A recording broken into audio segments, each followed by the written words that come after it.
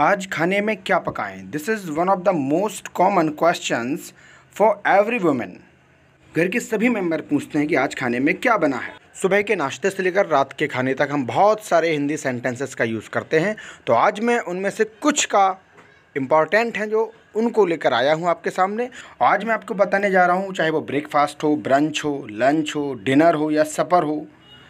खाते पीते समय जो भी हम लोग हिंदी में बोलते हैं, जैसे कि आज सब्ज़ी क्या बनी हुई है, या मेरी सब्ज़ी में नमक कम है, या ये कुछ ज़्यादा कड़वी है, या जो भी सेंटेंसेस हम यूज़ करते हैं, जैसे मुझे थोड़ा पानी दे दो, थोड़ा नमक की डिब्बी को पास करना, उन सभी के इंग्लिश आज मैं बताने जा रहा हूँ। मैं आपका आदित्य स्वागत करता हूँ आपके अपने channel crazy for English by Aditya channel पर। तो चलिए शुरू करते हैं। पहले हम जान लेते हैं ब्रेकफास्ट ब्रंच लंच डिनर और सफ़र के बारे में। तो ब्रेकफास्ट होता है सुबह का नाश्ता ब्रंच होता है सुबह और दोपहर के बीच जो नाश्ता करते हैं, जो लेट नाश्ता होता है, उसको हम ब्रंच बोलते हैं। उसके बाद आता है लंच दोपहर का भोजन, उसके बाद डिनर मतलब शाम या रात का भोजन, और सफ़र सफ़र मीन्स होता है देर रात का भोजन, जैसे कुछ लोग बारह, एक बजे खाना खाते हैं तो डिनर जनरली नौ या दस बजे मान लिया जाता है तो सफ़र देर रात का भोजन बोला जाता है। चलिए तो स्टार्ट करते हैं, पहुँचते हैं अपनी डाइनिंग टेबल पर, जहाँ बच्चे पूछते हैं कि भाई भाई आज खाने में क्या बना हुआ है तो खाने में क्या बना हुआ है या खाने में क्या है, इसकी इंग्लिश बोलेंगे is there in the breakfast या is there in the lunch या is there in the dinner या वॉट हैव यू कुकड या इसके अलावा बोल सकते हैं what dishes have you cooked today for lunch या डिनर जो भी आपका टाइम हो। तो जनरली आंसर आता है कि योर फेवरेट आलू या फिर योर फेवरेट करी या जो भी आपने बनाया हो, आप बोल सकते हैं।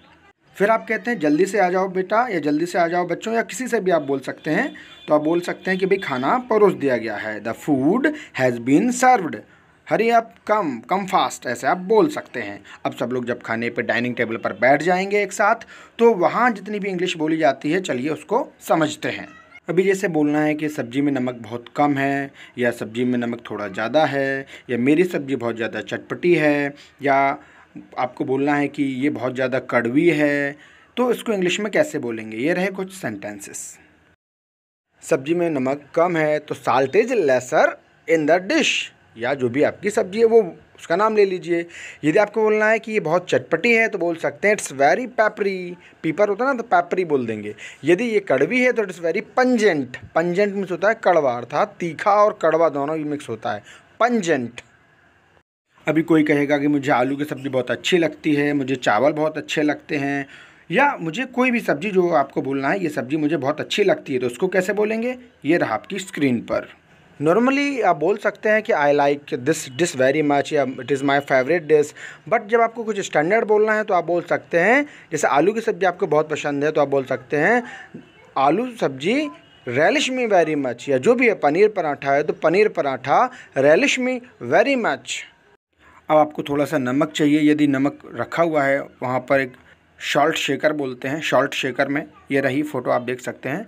तो आप कैसे मांगेंगे? तो आप बोल सकते हैं could you pass the salt shaker please या आपको कुछ चाहिए है तो आप बोल सकते हैं would you please give me this या आप बोल सकते हैं प्लीज़ आई वॉन्ट सम जो भी आपको चाहिए आप बोल सकते हैं। कभी कभी आप कहते हैं, मुझे थोड़ा सब्ज़ी का रसा दे दीजिए या सब्ज़ी की तली दे दीजिए। तो इंग्लिश में कैसे बोलेंगे? Please give me some gravy अभी कुछ लोग कहते हैं कि मेरा दो रोटियों में, दो चपातियों में पेट भर जाएगा तो इंग्लिश में आप बोल सकते हैं two chapatis can satiate me या two chapatis have been enough for me अभी मान लीजिए कोई कुछ खा ही नहीं रहा है, स्पेशली जब गेस्ट्स आते हैं, गेस्ट्स आते हैं तो वो थोड़ा इटिकेट और मैनर में रहते हैं। जब हम भी कहीं जाते हैं तो उस हिसाब से नहीं खाते हैं। तो सामने वाला जो होता है टेंडर वो बोलता है ना कि आप तो कुछ खा ही नहीं रहे हैं। थोड़ा सा और लीजिए, आप तो कुछ खा ही नहीं रहे हैं। थोड़ा सा और ले लीजिए। तो सामने वाला क्या बोलता है? नहीं नहीं नहीं, धन्यवाद, मैं बहुत खा चुका हूँ। मतलब मेरा पेट भर गया है, मेरा पेट भर चुका है। खाना वास्तव में बहुत स्वादिष्ट था, थोड़ा सा पानी और दे दीजिए। इन सभी सेंटेंसेस के लिए आप देख सकते हैं, ये मैंने दिए हुए हैं। जैसे आप तो कुछ खा ही नहीं रहे हैं तो यू आर टेकिंग लिटिल थोड़ा सा और लीजिए हैव सम मोर तो गेस्ट बोलेगा no no no thank you I am full मेरा पेट भर चुका है.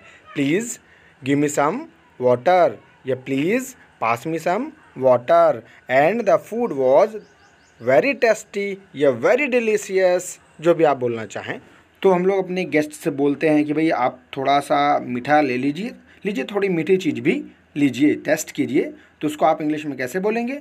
प्लीज़ हैव सम डिज़र्ट या please have some sweet dish कुछ लोग मीठी चीज़ें कम खाते हैं तो वो कैसे मना करेंगे? मैं मीठी चीज़ नहीं खाता हूँ। आई अवॉइड स्वीट्स या I don't take much of sugar और खाना खाने के बाद बहुत सा भोजन प्लेट में रह जाता है, बच जाता है तो बचा हुआ भोजन को बोला जाता है। जूठन इंग्लिश में बोलते हैं लेफ़्ट ओवर फ़ूड तो इंग्लिश में बोल सकते हैं there is much of leftover food मतलब बहुत सा खाना बचा हुआ है। So guys that is it for the video and I hope that you are liking my videos please do subscribe and share this video या one more thing I would like to suggest you if you want some motivation and pay save income please do visit F habits dot com thank you very much thanks for being here